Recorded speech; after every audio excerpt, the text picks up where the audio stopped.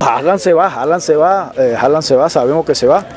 Y también le deseamos suerte, porque él quiere cambiar de ambiente. Eh, duró aquí cinco años, como se lo dije. Hijo de puta, dejaste ir la gloria.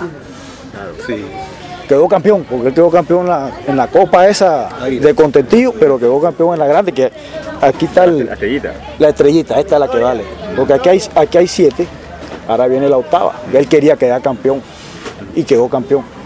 Pero dije- le dije, hijo puta, el man de allá te mandó la gloria. ¿Sabes cómo es? Pero bueno, tuvo la, la desgracia de tirarla.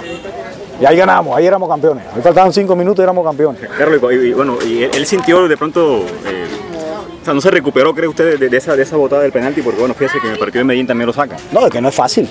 No es fácil, no es fácil. Ahí tiene que tener uno, no joda. Sí, como es uno. Todos somos distintos, todos somos distintos. Yo lo llamé y le dije, ya pasó Brasil. Porque yo hacía así. Yo jugaba bien, jugaba mal, jugaba regular, me expulsaban, me echaban, como sea. Pero yo, cuando jugaba, ya pasaba. Si perdía, no dormía. Si perdía, yo quería venir, que viniera el lunes para jugar. Así, así soy yo. Yo perdía, no que venga mañana para jugar. Pero cambiaba el chip. Me daba duro, porque es normal, yo estaba así.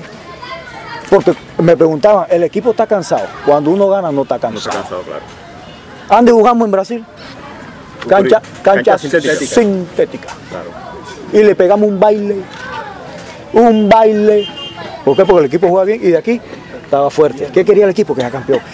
En cancha sintética. Porque uno cuando. No que perdimos porque jugamos en cancha sintética. ¿Y a dónde aprendimos a jugar nosotros? En tierra. La cancha sintética lo que pasa es que es muy rápido. Pero hay. ¿Qué prefieres tú? ¿Jugar en hueco, en piedra o en cancha sintética? Eh, ¿Viste el baile que le pedimos? Entonces, no, este equipo estaba para eso. Sin ese es un equipo sin excusa. Este es un equipo sin excusa. Entró a la historia, se convirtió en el mejor equipo. En 94 años, primera final, primera eh, semifinal, campeones. Hay que agradecerle a estos muchachos, hermano. Ahora viene el reto de la Copa Libertadores, pibe. Vaya, vamos. Hijo de puta. Otra vez Palmeira. Palmeira, Palmeira otra vez. El que toque, porque ya tenemos el equipo. Ese equipo es joven. Este equipo es jovencito. El de nosotros era viejo. El de la época de nosotros era viejo. Pero este equipo está joven. Dita, Fuente, Díaz, Moreno, cuatro. Te estoy hablando, Harlan que se fue. Pero cuatro peladitos nuevecitos. Y quedaron campeones. Exacto. La, ma- la- la máquina nueva. Y son campeones a los 20 años. En Junior lo mismo. que no es lo mismo. Entonces viene la Copa Libertadores. ¿Sabes lo que hay que hacer? Buscar los refuerzos que se necesitan para que veas tú que el equipo vuelve otra vez, porque ya lo tenemos todo. El técnico, la forma de juego, faltan solo refuerzos para pelear Copa Libertadores. Y- y cuál es el futuro de Harlan? Porque bueno, por ahí habló el Nietzsche Guerrero diciendo que, eh, que también había firmado con Rosario Central, que no había podido hablar con usted, que no había podido hablar con Harlan. No, nosotros no tenemos que hablar, nosotros tenemos que hablar el 2. Ahora no podemos hablar porque todavía hay contrato hasta el 31 de diciembre.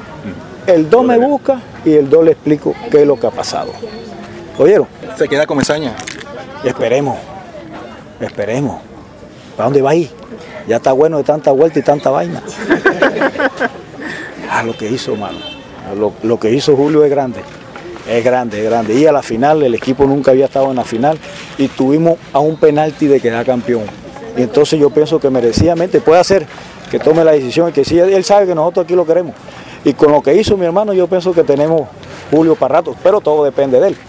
Nosotros, yo lo conozco y espero que se quede porque aquí estamos contentos. Como digo yo, consiguió lo que quería. Porque yo sé que Julio es un man ganador y siempre hablamos y decía, joda, siempre juego final y siempre quedó en la mitad, porque él ganó con nosotros, pero después tuvo en varias oportunidades y siempre quedaba. Ahora no. Yo pienso que ganó bien. Es el técnico que más ha ganado, cuatro títulos como jugador, como y entonces hermano, como yo le puse Ale Ferguson, que duró 20 años en el, en el Manchester United, que se quede cuando se vaya, que, que diga para decirle con mucha gracia. Carlos, ¿y la octava estrella cómo lo vivió el domingo? Oh, especial y sufrida, porque después del batazo que, pasó en Brasil, yo pensaba era la mentalidad del equipo, porque no es fácil, no es fácil recuperarse de lo que hicieron, pero la ventaja nos ayuda. Ustedes vieron que el partido de Brasil fue distinto, Porque nosotros tenemos un equipo que toca la pelota, que juega bien. Y, pero cuando vengo, va pasando, va pasando, yo tenía miedo los primeros 15 minutos. Si aguantamos los primeros 15 minutos, listo, di- dije yo. Pero fíjate tú que nos meten un gol a los 44, un golazo. Yo dije, no, agu- aguantamos. Porque yo tenía fe que el equipo metía un gol. Nos ponemos 2-0.